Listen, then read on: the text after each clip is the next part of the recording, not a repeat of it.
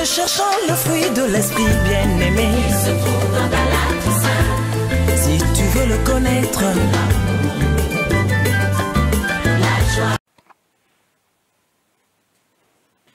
shalom shalom bandeko nyonso partout bozwami nzambe apambola biso nzambe amona biso na nkombo yesu kristo tobondeli nzambe na bomoi mpe na nguya toye na presence na yo na lisungi ya molimo santo opesi biso makoki toya kokabola richesse oyo ezali loba na nzambe na bandeko partout bazwami mokili mobimba kolo merci cher saint esprit toinvite oyo na kati na plateau oyo toinvite oyo na kati na mission oyo ya lene fruit d'esprit zwa controle na nyonso tokosala tobengani nguya nyonso na satana ekende mosika na biso ekende mosika ya entourage oyo tika te saint esprit okota na bandako bandeko na biso partout nyonso bazwami afin ke maloba oyo opesi biso ntango ekambama na ngwano ebota bambuma na baame na biso kolo merci soki na kondima na nkombo na yesu klisto azali mokonzi mpo mobikisi na biso amen Merci balandi ya emission L'Œuf d'Esprit partout tout bozwami. Nzambe aza toujours malamu alobelaka biso ntango nyonso na nzela ya liloba na ye atindaka liloba na ye mpo na bolamu na biso etanke bikelamu tokelama na image na etanke beba na ye oyo tondimi ye mokonzi mpo mobikisi toye na mbuma oyo nzambe apesi biso ya ezali parmi bambuma ya le neuf fruit d'esprit oyo eza na galate 5 à partir verset 22 kino na 23 biso oyo tokotanga na bandako me biso oyo tokotanga kaka mbuma moko oyo tokobenga esengo esengo ezali mbuma oyo ezali kokambama na lisungi ya molimo santo Epai ya bato nyonso oyo bayambi Yesu Klisto, Mokonzi mpe Mobikisi, oyo bafungoli mitema na bango oyo tobenga ame, batiki Molimo Santo oyo Yesu Klisto atindelaka atindela biso ezwa place, yango nde ebotaka bambuma oyo tobengi le neuf fruits de l'esprit oyo tokokabola lelo esengo. Ntango tozoba esengo, mokili eza na esengo na yango. Bato ebele na mokili oyo bazali bikelemo ya Nzambe, bato bakelema na image ya Nzambe, bato mosusu oyo mpe na bayamba Yesu te, bango mpe baza na bisengo na bango. Tokozwa ndakisa moto oyo na ye eyambi Yesu te lokola mokonzi mpe mobikisi, bamosusu esengo na yango ezalaka na sigarete. Soki ameli sigarete akomi esengosengo. Sigarete epesaka esengo. Soki alie, alie biloko oyo alambi lokola na meli sigareti te akozala na esengo te akomona eloko moko ezangi me soki ameli kaka sigareti a ah, yebaka eloko ezanga ekokisami kati na ye akomi na esengo amoni mpenza alie bien bamisusu esengo eyaka na masanga Soki sikoyo alie ameli masanga te akomona lokola alie bien te esengo eza te omona mawa mawa mais soki ameli kaka masanga yebaka esengo ezongi amoni ke akomi complet ba misusu bazwaka esengo soki abimi te akende koluka basi te akozala na esengo te ye esengo na fa akende akende luka basi soki azwi mwasi wana esengo na ekokisami donc ntango tozoboma ezali vice versa tozobaka na mibali te na basi donc bikelemo nyonso ya nzambe oyo tokelemi na emesa nzambe bato ebele baza ndenge wana ezala na ngambo ya basi ezala na ngambo mibali donc soki bamisusu bazalaka soki ameli diamba te akozala na esengo te avant esengo amona ke vie na ye ezali malamu fo amela diamba alleluya mais nyonso wana biloko oyo oyo tozoloba oyo esalami na maboko na bato oyo bato bazali kofabrike mpo na epesa bango esengo esengo wana ezali ekoki te Esengo wana epesaka esengo te tozolobela lelo oyo. Me biso tozolobela esengo oyo Nkolo Yesu Klisto apesaka oyo ekambami parmi ya le neuf fruit d'esprit molimo santo oyo azali mosungi na biso ye ntango afandi na baame na biso ye moto apesaka esengo wana esengo wana tozolobake soko motu ameli nanu diamba te akomona esengo te wana ezali limite apres ntango okuta diamba ekosila okomona akomi lisu na mawa apres ntango okutisa masanga ekosila omona akomi nesu na mawa apres ntango koluka basi azwi basi asaka na basi okomona akoma nesu mawa esengo wana epesaka esisaka mposa ya ami te esisaka mposa ya ami te esengo wana esengo wana ememaka bato na kufa Moto apesaka esengo oyo ezali Satan. Satan apesaka esengo oyo ememaka na kufa. Satan apesaka esengo oyo ebebisaka moto. Combien de bato mpo na kosepelisa nzoto na bango bakei koluka basi bakomi kuno bazwi sida, bakomi kuno bazwi maladi mosusu toyebi bakombo te oyo basi bazalaka nango soki bosangani mwasi na mobali bazwi maladi wana. Ebele bakufi, ebele bazwi maladi mpo na kosala esengo oyo nzoto ezotinda bango oyo ame ezotinda bango me esengo wana ebebisaka ndeko na ngai me lelo tozolobela esengo wana te baye mosusu okomona akozwa esengo wana mwa ndambu mwa quelques heures pas même kutu journée mobimba akozwaka esengo ata mosu ya 2 heures 3 heures après soki kwiti esili après soki likambo asalaki esili okomona akomi esu na mawa yango wana bandeko bamosusu bazalaka esengo fo ayoka miziki profane miziki mondaine fo akende na bar ayoki miziki before ake na concert ayoki miziki abimisi mbongo na likolo esengo ntango bakolanse babwaki bakombo akoza na 10000 abimisi yango na esengo wana bayemba ye balanse ye mai ntango obimisa mbongo wana esengo ya ntango moke apres ntango ozonga akomi kokete ah nazalaki na 10000 napesaka na kingandi ayembaki ngai Esengo ya mokuse mais esengo oyo tozolobela azali mutu esengo ezali seigneur jésus christ nazareth akotaka na nzela molimo santu ye abotaka esengo na mitema na biso mpe na baame na biso soki toyambi yesu kristo lokola mokonzi mpo biso molimo santu oyo atindi na biso ali mosungi na biso ye aremplasaka baposa nyonso mabe azwi place na mitema na biso na baame na biso abotaka esengo ya libela esengo oyo tobengi seigneur jésus oyo akotaka na nzela molimo na parmi ya lenef fruit d'esprit ye apesaka esengo esengo wana ekobanda awa na se libela na libela kino yesu kristo akozonga tokokota na kati na, na bokonzi na nzambe na esengo wana esengo wana ezali suka te soki ozwi esengo wana otiki yango esika na motema na yo na nzela molimo santu esengo wana ezalaka seseseko aleluya Yango wana bandeko, biso oyo tozali kolanda mateya oyo mpo na lelo, Nzambe azali kobenga biso tolongwa na bisengo oyo bato na mokili bazali kopesa biso tolongo na bisengo oyo satana azali kopesa na nzela ya makambo oyo nasili kotanga tobima na esengo wana esengo wana ezali ntango moke me tozwa esengo oyo azali yesu masiya tozwa esengo oyo ezali komango ya molimo santo oyo ezali parmi ya le neuf fruit d'esprit mbuma wana evanda kati na biso mpo na esengo na biso ezala parfaite yango wana tokotanga passage moko na bible esunga biso toyeba kososola esengo tozolobela awa totangi na mokanda ya, ya jean na mokanda ya yohani na verse na yango 11 natangi na nkombo na yesu klisto balobi ke nalobi na bino wana yesu azoloba nalobi na bino bongo mpo esengo na ngai ezala na mitema na bino mpe botonda na yango ya kofuluka nabandeli nalobi na bino bongo esengo na ngai ezala na mitema na bino mpe etonda Botonda na yango ya kofuluka. Amen. Ezali passage moko Yesu Klisto oyo tondimila oyo abengi biso aza na posa tozala na esengo wana nalobi ke esengo esengo azali mutu esengo azali mutu mutu yango nani yesu masiya moto yango nani yesu masiya yesu masiya ntango azalaki awa na moi na nse bato nyonso bandimelaki tozwa ndakisa les 12 apôtres apa mwana ya libebi yuda oyo aperdreki esengo wana likolo ya lokoso likolo ya kolia likolo ya mosolo aperdreki esengo wana ake komidiembika na ye mais le reste 11 disciples na oyo aremplasaka yuda mathias Les douze disciples bazalaki na esengo wana,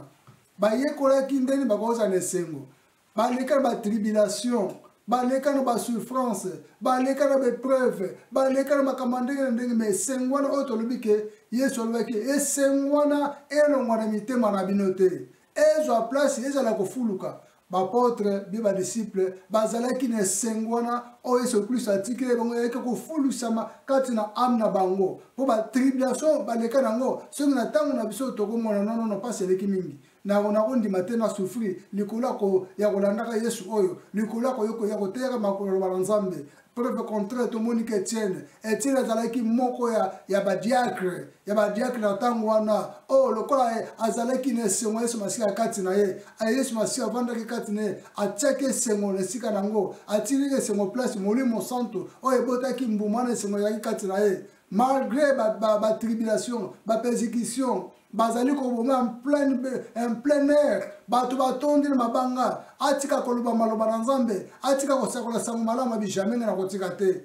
mais tomoni ke azali bazali balokoti mabanga bando kobamba ye tika yabe akotika te alobi ngai nakokontinue koteya sango malamu nakotika te namoni deja esengo ya yesu masihi ya kati na ngai yesu azali kati na ngai esengo nakotika yango ndenge nini nagute deja esengo aleluya esengo ezalaka lokola mafuta ya nzoi toyi mafuta ya nzoi babengaka miel miel tele elenge miel azalaka nango bo soki moto ogute esengo yesu masihi avandi kati na yo nakanisi makambo nyonso ya mokili bisengo nyonso ya mokili okoma nango pamba mpo esengo oyo eleki yesu klisto ezali te esengo yesu klisto apesaka efandi na kati na ame na biso ekokani na esengo oyo bato bapesaka te esengo oyo eh, biloko epesaka te aleluya yango wana bandeko na ngai etienne bazobami mabanga me eza na esengo aza na esengo azali koseka na ye azali kozongisa mabele na pa bato na te e, suka nango nkolo na biso afungolaki elobi tala nkembo tala nkembo esika koya bazoboma nzoto wana miyoza na esengo haleluya yesu esalaki esengo abi o oh, bazokonyokola likolo na ngai mezaka na esengo na ngai bafungolaki nkembo amoni nkembo na lola ah, eloko na esalamaki yesu ayambaki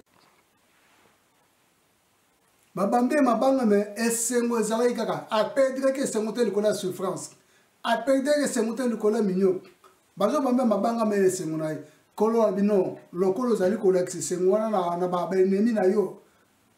olakili yango mabe te tala esika ya kovanda balakisi ye nkembo ayaki na esengo akufa na esengo na ye yango wana bandeko na ngai kozala moto na esengo na nzela ya yesu masiya eza très important esengo ya mokili eza limite ba mususu bazalaka na esengo soki akomi na mbongo ebele soki akomi na mbongo ebele akomi na esengo soki mbongo eza te akomi na mwana non mwana nzambe nyonso oyo ayambi yesu kristo lokola mokonzi mpe mobikisi oyo atiki molimo santo oyo molimo santo abotaka mbuma esengo parmi les fruits d'esprit evandi kati na ye azalaka na mawa te mpo yesu kristo oyo azali esengo kati na yo nzela molimo santu atieli kozala ata mokolo moko na mawa te ayaki na moi na nse na nzoto toza nango anyokomaki babetaki ye bafingaki me jamai ata mokolo moko azalaki na mawa azalaki na mawa te bazalaki toujours na esengo mpo na souffrance oyo bandaki kopase nango yango biso bana nzambe soki toyembi yesu kristo lokola mokonzi mpo bikisi molimo na ye ekoti kati na biso molimo santu afandi kati na biso abandi kotambwisa biso totikila esika esengo wana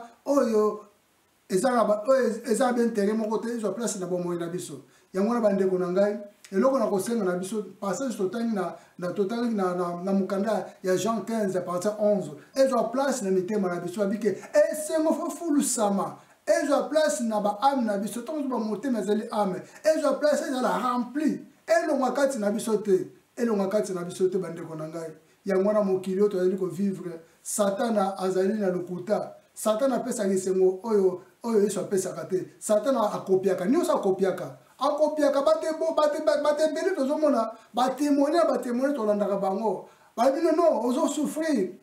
ozali mobola ozonioka ozalaka na esengo te na kati na vi na yo ozalaka na esengo te na kati na ndako na yo ozalaka na esengo te na entourage na libota na yo yaka ngai na kopesa esengo akei kolanda nzela ya satan bie bakosi na motu moko boye balakisi nzela ya satan ake mpe banganga ata mosusu ake mpe bamasicien mpo bapesa ye mbongo azala motu na esengo atambola na mituka asomba bandako asala ambiance ma esengo wana suka na yango ekomemela kati na liwa esengo satana apesaka ememaka na liwa epesaka bomoi te mpe esengo yaka ya bakondisio ya souffrance komoyi moto oza na esengo na moi ozokaba mbongo na bato ozokopesa bato biloko ozosala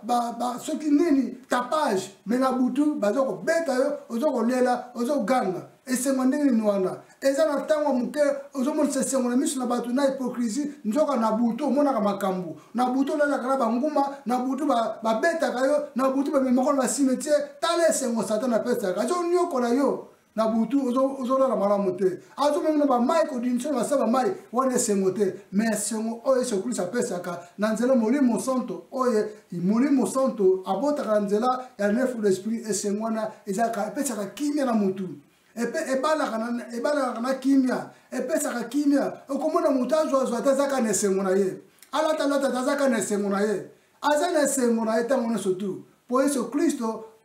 Na nzela Molimo na Ye avandi na kati na ame na yo. Yango wana, bandeko na ngai, biso tozali bana ya Nzambe. Mwana ya Nzambe akoki kozalaka na mawa te. Mwana ya Nzambe, surtout biso bana ya Nzambe, tokoki kozalaka na mawa te. Mpo mawa ezali misala ya Satana. Biso bana ya Nzambe, fo tozalaka bato na esengo. Nazwi, nakumisi Nzambe. Nazwi te, nakumisi Nzambe. Nyonso kaka oyo Nzambe akopesa nga, natondi Nzambe. Ndenge mokanda na biso botanga bandako mokanda na biso bakomi na bafilipien 44 abi rejouissez vous rejouissez vous tozalaka bato na esengo ntango nyonso tu nzambe akotika biso te yango wana ndeko na ngai tozobila le neuf fruit de l'esprit le neuf fruit de l'esprit toza na deuxième mbuma oyo tobengi esengo esengo ezali capital ya kozala kati na biso bana nzambe tolobi mpo na mbuma na ebota fotika molimo santu Molimo Mosantu ezali kati na yo, yango ebotaka mbuma. Soki otiki Molimo Mosantu kati na yo te, evo ezwa place na ame na yo, ekobota mbuma yango te, ekobota mbuma yango te. Yango wana bandeko na ngai, tozwa ndakisa mwa moke, ndakisa ya, ya, ya nzete ya manga oloni mokokoli ya manga nde toyaka na baafrike mpo awa bamanga elonamaka te na baafrike tozalaki oloni mokokoli ya manga ntango oloni mokokoli ya manga bie mokokoli ya savoka bie mokokoli ya safu sikoyo mpo elinga ebota fo osopelaka yango mai ntango nyonso tu fo otalaka yango osopelaka o mai bamosusu tokona osala yango clotire osala clotire mpo ya ndeke atimola yango te mpo na soso atimola yango osali yango clotire ozali kosoigne yango ntango nyonso ozali kobwakela yango mai obwakeli yango mai mpo ya nini mai wana sikoyo ntango ezali kokota na kati na mbuma wana mbuma sikoyo eza kozwa fraîcheur na ntango na omona ebandi kobimisa misisa misisa omona ebandi kobotisa nzete ti nzete ko monene suka na yango yo olingaki olia mbuma na nzete wana okomona ekobota mbuma soki olonaki kokoti ekobota bakokoti soki olonaki manga ekobota bamanga so olonaki safi okolona mpo ozalaki na kosoigne yango kosopela yango mai yango wana sikoyo ozwi lifuti ya kobota eboti bambuma ndenge moko mpe na mbuma oyo ya molimo santo ya kati na biso yo olingi okoma chrétien ntango okoma chrétien okoma mwana nzambe nde de nouveau fo tika sikoyo molimo santo avanda kati na yo ye nde abotaka bambuma akobota mbuma esengo mpo na esengo ezala parfaite ozalaki moto na mawa ozalaki na kolelalela me ntango molimo santu aboti mbuma esengo wana okomona changement ekoti na vie na yo omona bato bayebaki ye moto azalaki moto na mawa azalaki kolelela pampa me akoma moto na esengo ndenge nini mpo nini esengo ezali yesu masiya avanda kati na biso na nzela molimo santu yango wana fo totikela espace totikela esengo mbuma oyo espace asala mosala na kati na biso yango wana bandeko na ngai soki oza na mbuma na esengo moto akokosa yo akozala te moto akoyeba na nzela mabe akozala te mpo esengo ekamba momeli mosanto bano te kote bazobema bazokosa yo zwa zala kimia na kati na, na ame na yo yango wana bandeko na ngai nzambe alingi biso mingi nzambe alobi toumela kaka na esengo esengo na biso ezala kofulisama kati na mitema na biso ezwa place na baame na biso tala Bandeko na ngai, kozanga esengo lelo oyo mabala ebele ekufi. Tozwa mwa ndakisa, tozwa kota ya bana Nzambe, kota basali na Nzambe. Lelo kozanga esengo mwasi azangi esengo oyo ya embuma molimo santo mobali azangi esengo embuma molimo santo mabala ebele ezali kopanzana likolo esengo wana eza te mwasi kozanga esengo mobali kozanga esengo Satana akotaka na kati, alongoli bino esengo wana na kozanga Molimo Santo kati na bino. Mabala ebele ezali kopanzana, mabota ebele ezali kopanzana. Tozali bana Nzambe, toza basala Nzambe. Pourquoi esalama ndenge wana etanke biso bana Nzambe? Mpo nini Molimo Santo oyo abotaka mbuma esengo totikili ye place te? yo omonaka mama kandakanda tata kandakanda bamosusu mpe baza basali ake koteya esango wana na ndako bayokani nde nte na mwasi esengo eza te mwasi atikali na kanda mobali ake koteya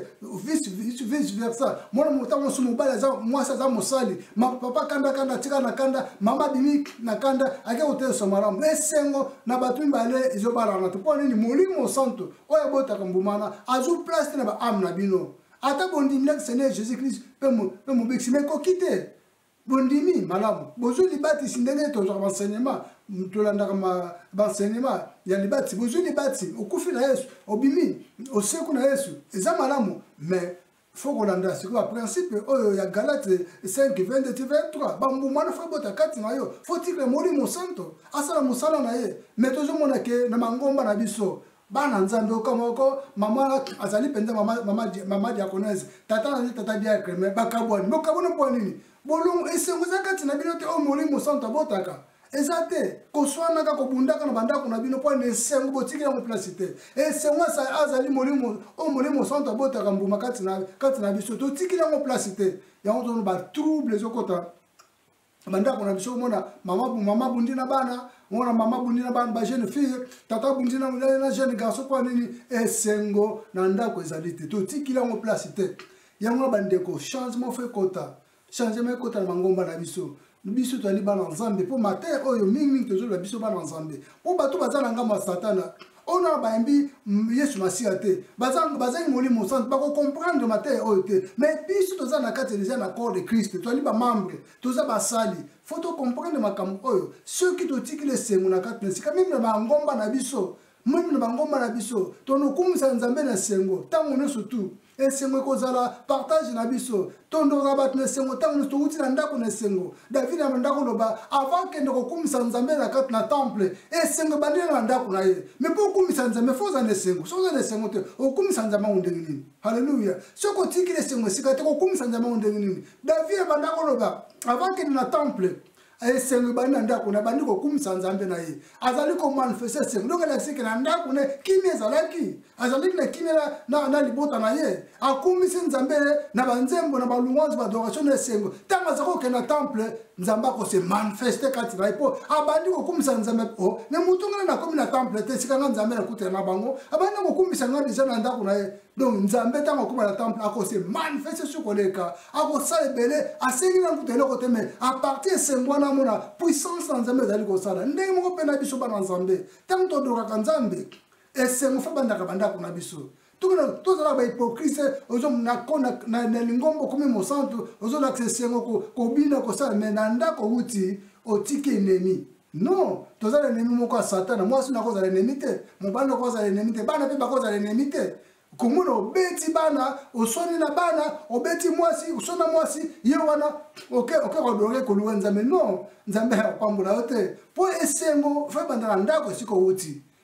banda na ndako kutu na esengo na yo ntango bozokende na esengo na bino bokumisa nzambe nzambe akomisi manifeste osengi kutu eloko te mekwa dore kaka na esengo wana okoluwa kaka na esengo wana mona puissance na nzambe ekopere miracle okomona puissance na nzambe ekosala kati na yo à travers la joie yango wana bandeko na ngai mbuma oyo esengo eza très nécessaire na biso basali ya nzambe na biso bana nzambe oyo oh, ndeko moko aloba aloba na ndako na ye baswani na mwasi na ye baswana mwasi na ndako apres koswana baswani baswani sikoyo mobali asimbi nzela ake kokumbisa ake kumbisa nzambe na, na kati na eglize me na ndako esengo ebandaki te baswani na mwasi ake kumbisa nzambe akomi kuna bi aujourd'hui je vais presser l'enfer l'enfer est juste ozomona bike lelo nakotebi l'enfer enfer ezalaka azoteya makambo wana mpo nini baswani na mwasi na kati na ndako esengo ezalaki te ebandi na ndako na ye te me aza mosala ya nzambe abi lelo akotemi na enfer ezali azoteyema te na kanda ate bato enfer me enfer ebandi epai na ye mo mpo nini esengo eza te molimo santo eza kati na ye te abandi kotelema te makanda yango ya bandeko na ngai tosala effort nabondeli biso tosala effort totikela esengo esika tokotikela esika ndenge nini fo molimo santu ezala kati na biso mpo yemta abotaka mbuma esengo totanga passage moko bandeko na mokanda ya tozalaki na kati na jean wana 15 totanga na passage ya jean 16 na 22 tolangi na 15 sikoyo tanga na 16 22 jean 16 22 natangi na nkombo yesu kristo na 22 balobi boye bino mpe ndenge moko sikoyo bozali na mawa na mawa kasi nakoya kotala bino lisusu mpe mitema na, na bino ekotonda na esengo ata moto moko te Akokoka kolongola bino esengo wana. Alleluia. Alleluia. Alleluia. Awa, nkolo na biso amonaki bato moko bazalaki na mawa bazalaki na mawa ya nini batikelaki molimo santo esika te oyo apesaka esengo me nkolo asungaki bango asikaki bango abisiko ndenge oza na mawa me nga nakoya naya kotala bino ntango nakotala bino nakotonisa bino esengo esengo na motu moko te koyina kolongola yango aleluya biso bana nzambe tokozalaka na mawa te okomona mwana nzambe nakozwa ndakisa moke okomona mwana mwana nzambe par exemple abandaki kosala na kompani na kompani moko songolo kompani wana ekoti faillite babiki bino nyonso tu boluka misala mosusu compagnie ekoti faillite kumisa nzambe na circonstance wana mpo ezali volonté na yo te compagnie ekoti faillite mwana bana nzambe mosu akomi na mawa alati souci alati souci non okolata souci te kumisa nzambe kumisa nzala na esengo na circonstance wana nzambe ye moko ayebi ndenge akosundola ye mpo ozwa mosala mosusu nakozala ndakisa mosusu akomona moto mosusu anaokela nzela azokende na nzela akomi na nzela ntango mosusu azalaki na ye mwa bien me ndeko moko bakuta na ye alobi le maloba moko akele bi afingi ye bi atuti ye mwana ndeko asiliki alongoli esengo kati na ye me azali mwana nzambe aza mosala nzambe non na bacirconstance nakombisa nzambe tika moto wana nzambe alimbisa ye yo kontina kozala na esengo na yo obimeli yango na ndako bambandaki sasa ebele tokoki kozwa bato oyo tobengami bana nzambe basala nzambe tolongolaka esengo na mwa ntango moke bamosusu tozalaka na esengo na bacondition nzambe afa apambolaka nga kaka nzambe fa akokisaka bosenga nango wana aza na esengo nalingi nzambe mais eloba nango eza nango sujet na biso te mais totie entre parenthèse nazwa ndakisa mwa moke ya histoire ya jobi totanga mikolo eleki jobi azalaka na esengo na ye mpo ya nini nzambe apambola ye kilo bagishese eza rien na voir na na neuf fruit d'esprit mais ezaka tozolobelaka mwa esengo eza na rien na voir na, na mbuma neuf fruit d'esprit mais tozolobela esengo oyo mpe bato mosusu bazalaka nango ya bacondition esengo ya intérêt ntango nzambe azopambola aza moto na esengo ntango nzambe azopesa aza moto na esengo mokolo akozanga akomi na mawa atalisi nzambe mokomo wana nzambe akozala ndenge wana te job alobi oh mwasi na ye abi finga na yo nzambe finga na yo tozalaki bato na esengo mbongo ebele babibwele ebele bana ebele ngai mwasi ya job nakolamba banyama niye misuni siko misuni eyaka susu te bana bakei yo mpe mobali ozala kondisa malamu otondi maladi maladi finga nzambango donc mwasi ya job esengo ezalaki kaka na intere na interet ya mbongo na interet ya bana na interet ya bozwi donc azalaki na esengo na interet me ntango sikoyo biloko wana eza te bafinga nzambe akomi na mawa akomi na kanda bafinga nzambe ezo babi jamais abin fo ozala reconnaissant tondimili nzambe ntango tozalaki na esengo ya bozwi ya mbongo ya bibwele ya bana sikoyo nafinga nzambe mpo na tokomi na mpasi non tolingaka nzambe ndenge azali nzambe alinga batolasaka esengo wana ndenge ngai nazaleli jamais jamais nga nakofinga nzambe wana ata nga nakufi na nga me nayebi ke un jour nakosekwa nakokuta na nzambe yango face à face alleluya tala bandimi mosusu na ntango na biso na ntango na biso bandimi mosusu esengo moko ezalaki soki nzambe azopambola ye nzambe azopesa ye wana aza na esengo na nzambe non esengo tozolobela ya mbuma lenefu lopi eza na condition te ofo avoza nonga fo ozwa fo non ntango na circonstance okumisa nzambe esengo na kokolonga kati na biso te eza esengo wana ezali kisi esengo wana ezali richesse ezali trésor tokolongola esengo wana te oyebi ke soki olongola esengo wana eza susu tofungolaka baporte mpa satana satana akotaka soki moto azali esengo abia ah, alongoli esengo molimo mosana eza kati na ye ta aye kopesa mawa mawa nde ebendaka maladi ebele mawa nde ebendaka makambo ebele satana aprofita soki moto alongoli esengo kati na ye yango wana bandeko tosalaka efort tosalaka efort esengo oyo ezali mbuma ya molimo santo elonga kati na biso te fo evanda kati na biso evanda kati na biso aleluya yango wana bandeko na ngai tozali totala passage moko na mokanda ya batoli proverbe natangi na mokanda ya proverbe chapitre nango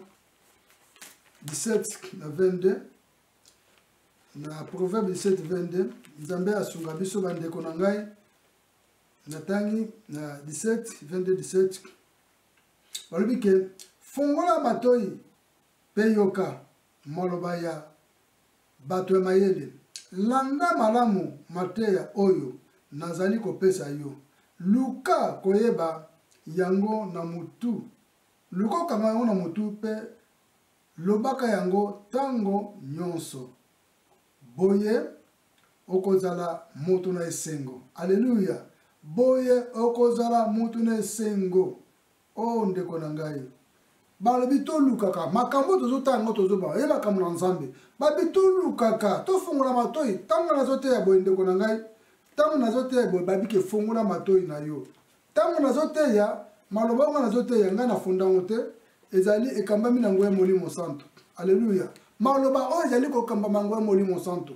Maloba na Nzambe ebimaka na ntina, ndeko na ngai. Maloba na Nzambe ebimaka mpo na esunga biso. Soki ezali kobima mpo na esunga ngai, ngai mpe nazali koteya na zali ozwa part na ngai, esunga biso mpe tozali kolanda maloba oyo babi tofongola matoi Ntango Nzambe atindi maloba na ye, atindi message na ye mpo na bolamu na biso. Tofungola matoi, ntango tofungola matoi, toyokaka yango evanda na baame na biso, tosalela yango babi, wana tokozala bato na esengo. Aleluya! Ndeko na ngai, eh, nakozwa ndakisa ntango tozalaki bana mike bato mingi bayebi lisolo oyo bapalodisme ba, ba malaria ezalaka mingi na afrike me bana obenga kisi moko kinini kinini ezalaka bololo ezalaka bololo me balobi ke soki bato banakokanga mitema bameli yango na pasi ntango okomela yango na pasi suka na yango ntango maladi ekosila enda osisa malaria ya mbala moko na paludis mo ntango okomela yango mbala moko obongi bato bazala na esengo aleluya yango na ndeko na ngai na ntango toza na mokili oyo ngai na balaka mbala ebele lokola yesu klisto nano azongi te bapasi ekosilaka te jamais Ntango toza na mokili oyo na moi na nse, Yesu Klisto na azongi te, bapasi ekosila te, basouffrance ekosila te. Tozolala, tozolamuka na bapasi na kati na mokili mpo Satana na bakangi ye te. bademo na bakangi bango te bapasi ekosila te toyebi bapasi ekosila te toza na mokili oyo toza bacrise économie eza bapasi toza na mokili oyo ntango mosusu bamisala nde nabaki bakompani ekoti faiti mpo na makambo na bango eza bapasi bapasi ekosila te toza na bamboka oyo injustice ezali ezali makasi bakonzi bazali kokamba mokili bazali kokamba mpa satana e toza na bapasi me bapasi oyo ekosila te lokola yesu kristu na azongi te yango wana ekolongola biso esengo te makambo ya mokili te ekolongola biso esengo mbuma molimo santo non ekokolongola biso esengo te esengo fo ezala kati na biso tokotika mawa kati na biso te ezala kozwi tozwi te ezalaka na esengo sepela na oyo nzambe apesi yo sepela ndenge ozaleli sepela ata milimo ya pamba sepela ata oleli mpe kauka sepela okumbisi nzambe esengo elongo na motema te yango ya bandeko na ngai biso oyo tozali kolanda mateya oyo Nzambe alingi biso mingi. Nzambe azali kopesa biso makoki ya, ya koyeba maloba na ye. Nzambe azoma biso esengo ya motema ekoki kosalisa moto oyo mpo abika. Esengo ya motema ezali kisi, ekoki kosalisa moto mpo na bika, ndeko na ngai. Kasi motema mawa esalisaka esalisaka makanisi esalisaka esilisaka makanisi nyonso na nzoto esilisaka makasi nyonso na nzoto motema mawa esilisaka makasi nyonso na nzoto nalobaki yango deja moto soki oza na mawa okofungola porte mpa satana ababiki esengo ya motema esengo oyo eza na kati na motema ekoki kosalisa yo ndeko na ngai ozolanda ngai ekoki mpe kobikisa yo halleluya ntango oza esengo na motema eza lokola kisi esengo tozoba oyo ekambami na yango ya molimo santo eza lokola kisi ntango oza na esengo na motema no ndeko na ngai ekoki kobikisa yo na likambo songolo tokoba ntango mosusu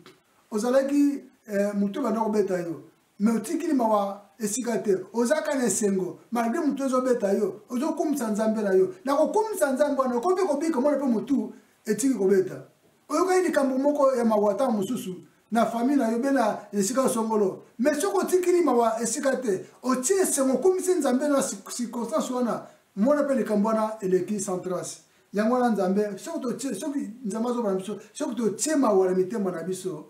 ekobebisa ba sante na biso mawa toujours ebebisa mpo mawa moto apesa mawa ya nzambe te satana ayaka na mawa wana yo fongoli ye mpo totie mawa oye akotaka abakisi makambo mosusu na kati ya mawa wana mpo nabebisa nzoto na yo aleluya mpo nabebisa nzoto na yo mpo nabebisa libota na yo yango wana ndeko na ngai tozolanda mateya oyo mbuma tozoba le neuf fruit de l'esprit mbuma ya esengo oyo ezali deuxième mbuma parmi le neuf fruit de l'esprit ezali mpo na bolamu na biso soki nzambe yesu klisto to mpo yesu klisto oyo arevelaki makambo mpo apotre paul soki atindaki bambumo ezali mpo na bolamu na biso apotre mpo insistaki bino bandeko na kati na galate bino bandeko na kati na galate bobota bambuma ya molimo boyambi yesu kristo mokonzi mpo mbikisi molimo na eza kati na bino bobota bambuma bambuma fo ezala kati na bino apotre paul insistaki lelo apotre paul azali konsiste na nzela ya molimo santo alobi biso tondimini seigneur jésus lokola sauveur tobota bambuma na, na baame na biso bambuma molimo santo fo ezala lelo tozoloba mbuma esengo fo ebota kati na yo ozangi esengo eza nango facile mpo na kosenga ngo na nzela ya priere babiki nyonso kosenga na mabondeli nzambe akopesa biso azali papa na biso na nzela molisuni ya molimo mosantu senga mbuma oyo soki ozalaka nango te senga ozala moto akandakanda moto akofingafinga esengo nolukila kona badroge na basigarete na masanga na bamoye mosusu tika bamoye wana senga na lisuni ya molimo santo mbuma esengo evanda kati na yango ezalaka libela ezalaka libela ntango esengo ekotana na kati na moto yesu kristo akoti kati na motu mawa ezalaka te ntango nyonso kokumisa nzambe yango wana ndeko na nga oyo ezalaki en résumé tolobi yango na mokuse mpo eza mpe mozindo tolobi yango na mokuse ya résumé esengo eza très capital na biso basala nzambe na biso bana nzambe meme na kati na église tomonisaka esengo wana meme bandako na biso tomonisaka esengo na bafamille tomonisaka esengo na mosala monisaka esengo na partout tozalaka bato na esengo mawa eza, eza part na biso te yesu kristo atikela biso esengo azali esengo kati na biso biso mpe tolakisaka esengo wana nzambe apambola biso bandeko na ngai oyo ezalaki en résumé le neuf ou l'esprit tolobi limbuma mibale oyo tobengi na nkombo ya esengo nzambe apambola biso wana mbala nsima toyeba biso kokutana tobondeli totika makambo oyo totangi molimo santu asunga biso ezwa place na baame na biso tobondeli nzambe na mawa mpe na nguya